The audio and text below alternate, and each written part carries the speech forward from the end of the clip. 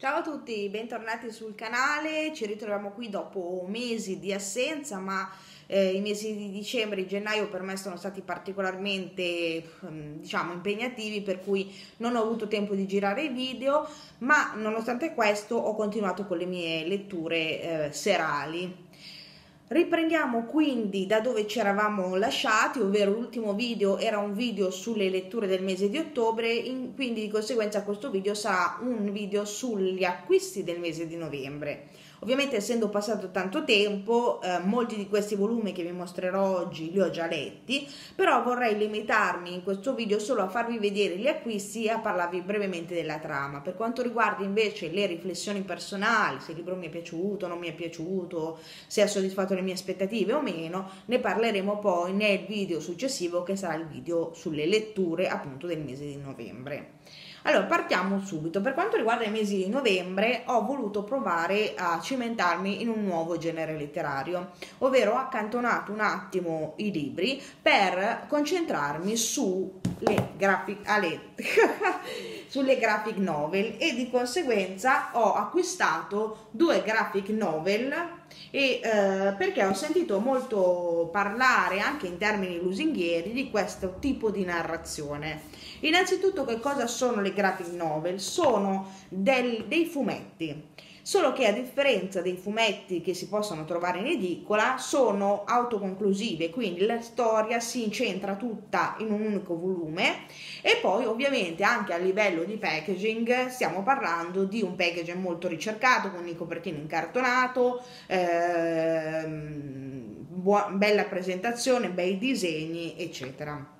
Nello specifico ho deciso di provare eh, questa, vi parlo prima di questa, Residenza Arcadia di Daniel Quello, vi faccio anche vedere un attimo i disegni dentro come sono, allora non so se riuscite a vedere, Daniel Quello ha questo tratto un po' particolare, diciamo che i personaggi sono eh, esteticamente abbastanza brutti e sempre con un'espressione molto arcigna. Di cosa parla Residenza Arcadia? Il tutto si svolge all'interno di un condominio abitato da anziani, denominato appunto Residenza Arcadia, dove la maggiore occupazione di queste persone anziane è quella di o farsi dispetti oppure avere sempre da reclamare su questioni appunto condominiali. Tutto cambia nel momento in cui eh, eh, queste persone hanno la notizia che eh, all'interno del condominio arriveranno ad abitare dei giovani, quindi una famiglia composta da padre, madre e bambino piccolo, che andranno appunto ad acquistare un appartamento rimasto vuoto. Ora, perché c'è una svolta? C'è una svolta perché eh, dobbiamo, arriveremo a capire che questo condominio eh, si trova in un paese, in una città, non ha importanza dove, ma è eh, sotto un regime di tipo eh, dittatoriale, una, ditta- una, dittatura militare. Quindi queste persone che ormai sono anziane hanno vissuto tut- eh, tutta la loro vita eh, in periodo di dittatura e hanno quindi ognuno di loro alle spalle un'esperienza diversa, magari anche un'esperienza traumatica e ehm, quindi Mm, si arriverà a narrare all'interno della graphic novel la vita passata di questi anziani e di conseguenza il loro approccio con la novità, ovvero l'arrivo di questa famiglia. Questo è il primo graphic novel che ho letto.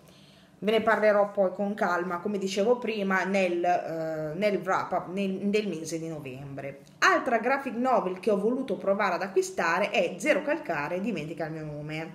Anche di questo autore, eh, Zero Calcare è uno dei... Mm, mm, autori di graphic novel italiani diciamo più apprezzati in questo momento sul mercato eh, la, vi faccio vedere anche qui che stiamo parlando di faccio vedere il tratto di zero calcare questo è quasi tutto mentre l'altro era eh, accolorato questo è quasi tutto in bianco e nero tranne determinate figure chi è Zero Calcare? Zero Calcare, oltre a essere l'autore della graphic novel, è anche il protagonista principale della graphic novel. Si tratta di un ragazzo che eh, avrà tra i 25 e i 30 anni, abita a Roma, nello specifico abita nel quartiere di Rebibbia, molto conosciuto per il carcere di Rebibbia ed è un ragazzo che durante le sue avventure, chiamiamole così, durante le storie narrate, dovrà affrontare un percorso di crescita personale.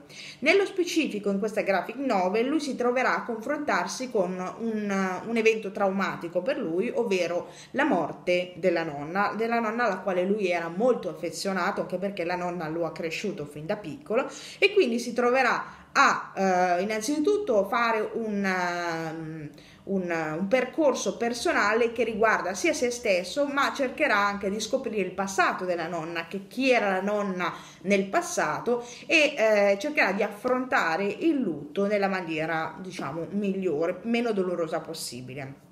La cosa particolare di questo di questo autore, ovvero Zero Calcare, è la rappresentazione delle donne, ovvero per lui le donne, adesso vi cerco un, un'immagine, per lui le donne sono tutte rappresentate, mentre lui e suoi, il suo amico vengono rappresentati proprio come, delle, come dei ragazzi, no? La madre, per esempio, in questo caso viene rappresentata come una gallina, ma anche la nonna, che poi sarebbe questa qui, viene rappresentata come una gallina. Se guardate bene questa immagine, vi renderete conto che questo personaggio assomiglia tantissimo a Lady Cocca di ehm, Robin Hood della Disney. Questo perché? Perché lui vede la madre un po' come una chioccia, quindi le donne vengono rappresentate sotto forma di volatili da cortile in quanto sono da lui considerati come un punto di riferimento, come delle, delle, sì, come delle chiocce, quindi un punto rassicurante, delle persone rassicuranti. È molto particolare questa graphic novel, per cui ne parleremo meglio nel wrap up perché ho un po' di cose da dirvi. Comunque, eh, tendenzialmente... Ehm, devo dire la verità non mi ha soddisfatto eh, assolutamente. Comunque poi ne parliamo Adesso torniamo invece ai nostri amati libri e nel mese di novembre ho comprato ehm, di Jules Verne eh, Il giro del mondo in 80 giorni. Eh, sono stata spinta ad acquistare questo volume perché io di Jules Verne avevo già letto Viaggio al centro della Terra e ho visto che in edicola, questo l'ho acquistato in edicola, sarebbe è uscita questa collana eh, con tutti i racconti, tutte le storie, i libri di Jules Verne. Ero molto interessata soprattutto a questo titolo che poi è uno dei più famosi e eh, essendo la prima uh, uscita l'ho pagata mi sembra o 1,99 euro o 2,99 euro, non ricordo bene. Di che cosa parla ovviamente, a parte che penso che tutti voi sappiate di che cosa parla, comunque facciamo un breve riassunto, si tratta di una scommessa che il signor Fogg fa con eh, dei suoi amici e la scommessa consiste nel fare appunto questo giro del mondo in 80 giorni. È una sfida un po'. Si porterà con sé il suo fedele servitore Passepartout e lo seguiremo nelle sue imprese, quindi mentre tocca diciamo i vari paesi eh, del mondo, è un viaggio diciamo neanche troppo semplice, un viaggio pieno di imprevisti, di avventure. E poi alla fine scopriremo se effettivamente lui riuscirà a vincere questa scommessa oppure no. Uh, e niente, questo è il, un, un, altro libro che uh, mi interessava molto recuperare. Andiamo avanti e ho acquistato di Valérie Perrin, Cambiare l'acqua ai fiori. Dunque ho acquistato questo libro perché? Perché ne ho sentito parlare benissimo da tutti, tra l'altro il libro più venduto del 2020 e anche quello che ha ricevuto eh, maggior, eh, maggior recensioni positive, quindi dicono che sia il, il, caso editoriale del 2020. Quindi ho detto, vabbè, provo ad acquistarlo, vediamo se effettivamente tutto questo, questo hype per questo libro è effettivamente vero, quindi se è veramente veramente un capolavoro.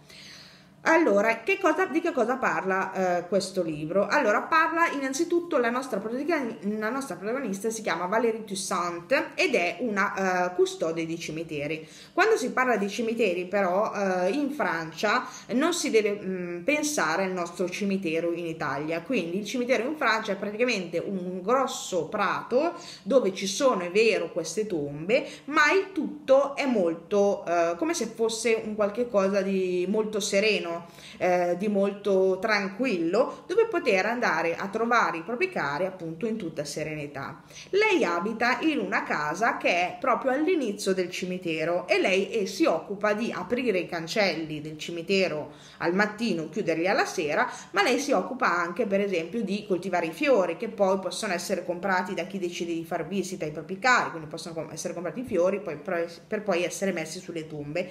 Inoltre si occupa anche della manutenzione del verde all'interno del cimitero.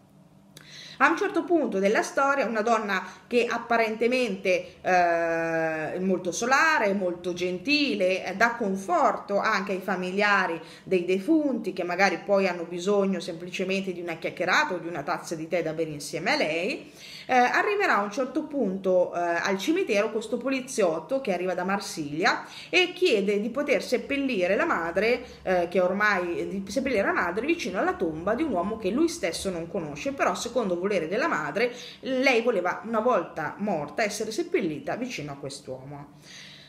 Da qui si dipana la storia perché in realtà è una storia, diciamo, che viaggia su un binario parallelo. Quindi da una parte scopriremo chi è Valérie eh, Violette, eh, scusate, mm, Violette Toussaint, eh, e quindi la sua storia passata, quindi prima di arrivare a diventare custode di un cimitero, una storia tra l'altro travagliata, una storia tristissima, piena di, di, di lutti ma anche di sofferenze ed in contemporanea eh, ci verrà raccontata la storia della madre di questo poliziotto. Probabilmente verso la fine ci sarà anche diciamo, una storia d'amore tra lei e il poliziotto, ma questo non ve lo posso dire perché non lo so, non l'ho ancora letto. Qui ci tenevo a precisare una cosa e questa ci tengo a dirla già da subito.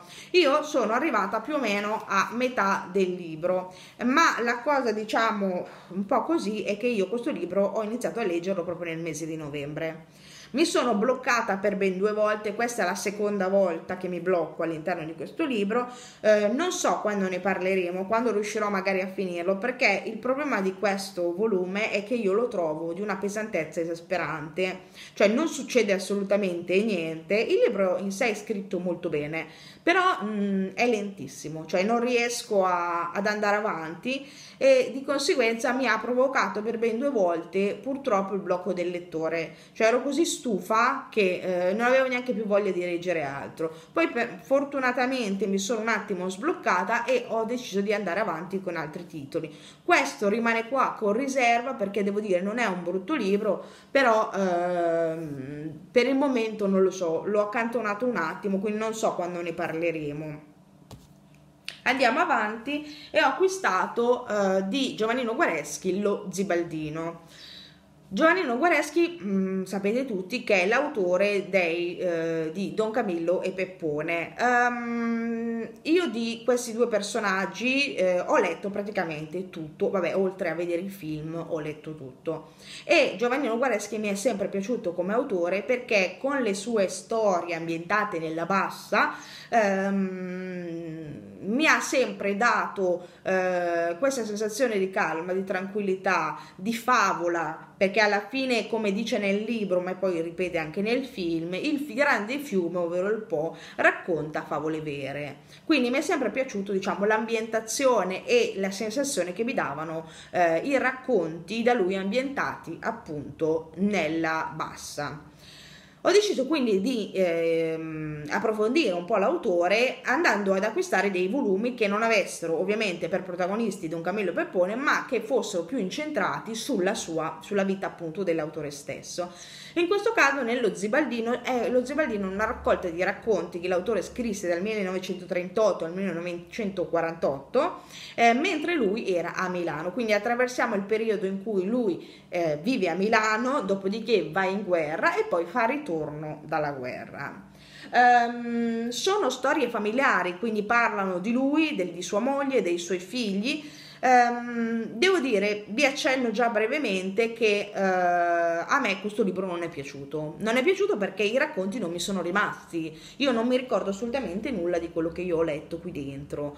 Anche perché lo stile non è più fiabesco come quello utilizzato nelle, nei racconti di Don Camillo Peppone, ma ha uno stile quasi assurdo. Eh, cioè, eh, per darvi un'idea, ci sono dei fatti veri che vengono raccontati in questa vita quotidiana di questa questa famiglia, che però sono esasperati fino all'assurdo, per cui non mi hanno lasciato assolutamente niente. Poi ne parleremo meglio, comunque eh, purtroppo per me è un grandissimo no questo, questo libro. Andiamo avanti e ho acquistato dal, della collana uh, Newton Compton, tra l'altro questi sono i Mammut Gold, tutti i racconti di, mh, mm, gialli di Padre Brown scritti da Chesterton. Allora, questo libro l'ho acquistato perché? Perché ehm, sono molto affascinata dai gialli eh, con dei, dei, personaggi, con degli investigatori ehm, abbastanza diciamo ehm, forti ma anche classici. Per esempio sono un amante di Agatha Christie ho letto tutto della signora in giallo mi piace molto Arthur Conan Doyle con Sherlock Holmes. Quindi anche la figura di eh, padre Brown è una figura che secondo me visto che ho comunque anche guardato in tv il, la serie è una figura secondo me molto simpatica e molto particolare da poter approfondire per quanto riguarda le sue investigazioni i, questo volume l'ho pagato la bellezza di 9,90 euro, quindi l'ho pagato pochissimo ed è proprio la raccolta di tutti i racconti che sono stati scritti che hanno come protagonista Padre Brown. Sono tantissimi. Ehm, devo dire che addirittura abbiamo quindi, eh, perché questa abbiamo quindi delle raccolte, lo vediamo qua nel, nell'indice qua dietro, abbiamo delle raccolte di racconti, quindi abbiamo il Candore di Padre Brown, la prima raccolta di racconti che comprende per esempio 12, 12 racconti, la Soggezza di Padre Brown che comprende altri 12 racconti, L'incredulità di Padre Brown, anche questo 8 racconti, Il segreto di Padre Brown eh, 13 racconti. E Lo scandalo di Padre Brown con anche questo eh, 8, 10 racconti. Um, sono un po' preoccupata perché il font è piccolissimo. Probabilmente per concentrare tutta questa raccolta in un unico volume è stato utilizzato un font piccolissimo. È vero che i racconti, ho guardato, hanno una media di 10-15 pagine al massimo, quindi si possono un pochettino centellinare e non leggere tutti in una volta. Mi spaventa appunto questo discorso qui del font, perché davvero ho paura che mi disturbi. Comunque quando lo leggerò vi farò sapere. Quando deciderò di affrontare il testo vi farò sapere e poi ne parleremo insieme. Siamo quasi alla fine abbiamo ancora poteva mancare negli acquisti di novembre direi proprio di no la signora in giallo con ospite inatteso a Cabot Cove. Perché l'ho comprato? Perché amo la signora in giallo. Tra l'altro eh, è uno dei pochi libri che si riesce ancora a recuperare perché nonostante su questo personaggio della signora in giallo siano stati scritti tantissimi volumi quelli più vecchi sono più difficili da reperire. Tra l'altro ho guardato anche sul libraccio magari anche per averli usati e molti sono proprio attualmente non disponibili.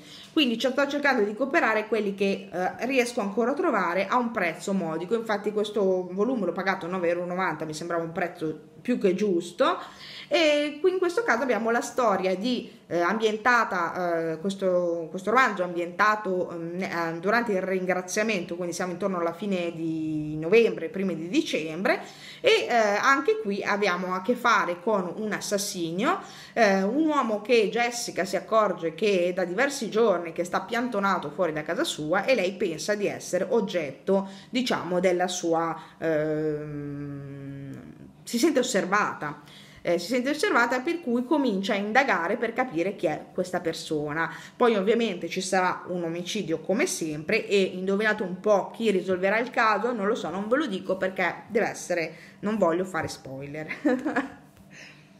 Penultimo libro, ho acquistato in libreria Il buio oltre la siepe di Harper Lee.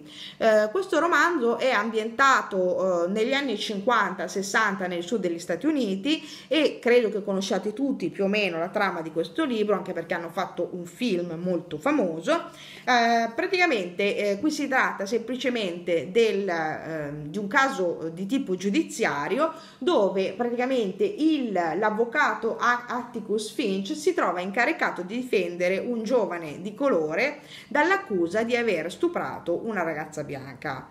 Oltre al caso, diciamo, in, tribunale, che viene discusso in tribunale, la cosa particolare di questo romanzo è che il tutto viene raccontato da una voce narrante un po' particolare, ovvero quella di ehm, Scout, che è la figlia più piccola di, eh, dell'appunto dell'avvocato eh, Atticus. E eh, qui vediamo proprio, almeno secondo quanto dice qua dietro, vediamo proprio la rappresentazione di quello che è la vita in Alabama e appunto di, queste, eh, di questo razzismo dilagante che mh, tipico di quegli anni, anni 50 e vedremo anche come andrà a finire se il ragazzo verrà condannato oppure verrà prosciolto dalle accuse, il tutto appunto raccontato da questa ragazzina che è proprio piccola, è una specie di, come dice nel, nel retrocopertina, è una specie di Huckleberry Finn in salopette e, e nulla, sono, questo testo non l'ho ancora letto, quindi poi quando lo leggerò ne parleremo, comunque sono stata molto attirata perché comunque è un titolo abbastanza noto. Ultimo libro per quanto riguarda gli acquisti del mese di novembre, ho acquistato sempre di Giovannino Guareschi La favola di Natale. L'ho acquistato perché innanzitutto è l'unico libro di Guareschi ambientato nel periodo natalizio, siccome eravamo a novembre volevo acquistare qualche cosa per entrare nell'atmosfera natalizia.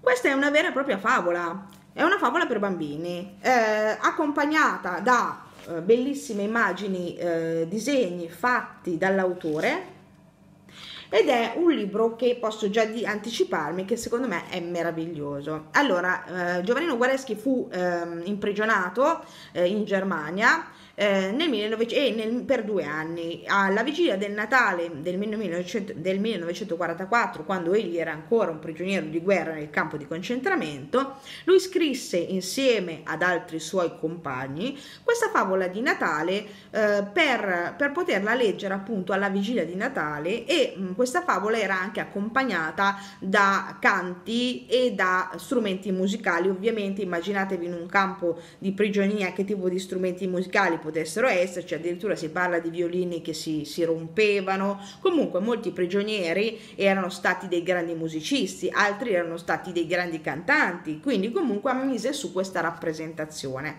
Di cosa parla la favola di Natale? Parla di eh, Albertino, che in realtà è il figlio di Giovannino Guareschi, che non potendo eh, avere il suo papà per le feste di Natale a casa, decide di intraprendere questo viaggio attraverso il bosco per riuscire ad andare a trovare suo papà nel campo di concentramento. E qui viene accompagnato dalla nonna, dal cane Flick e da una lucciola. Durante questo percorso loro incontreranno diversi personaggi e finalmente riusciranno ad incontrare anche il papà che, eh, col quale potranno passare un momento insieme dentro nel bosco e poi ognuno dovrà tornare, diciamo, nel, um, Albertino dovrà tornare a casa e il papà dovrà tornare nel campo di concentramento. È una favola molto toccante, eh, è bellissima, mm, pur essendo di poche pagine, è bellissima e qui finalmente ho ritrovato il Guareschi dei libri di Don Camillo Peppone. Questo è il Guareschi che mi piace, questo è il Guareschi che trasmette qualcosa, a differenza dello Zibaldino dove veramente mi sono cadute eh, le braccia.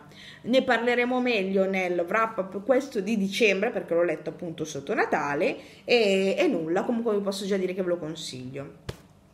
Dunque, il mio video delle letture del mese di, eh, scusate, il mio video degli acquisti, del, mio video acquisti del mese di eh, novembre termina qui, ci rivediamo al prossimo video dove vi farò vedere gli acquisti sia di dicembre che di gennaio perché ho acquistato poco e quindi facciamo un video riassuntivo. Spero di avervi dato qualche titolo interessante, noi ci vediamo al prossimo video, un bacione a tutti, ciao ciao ciao!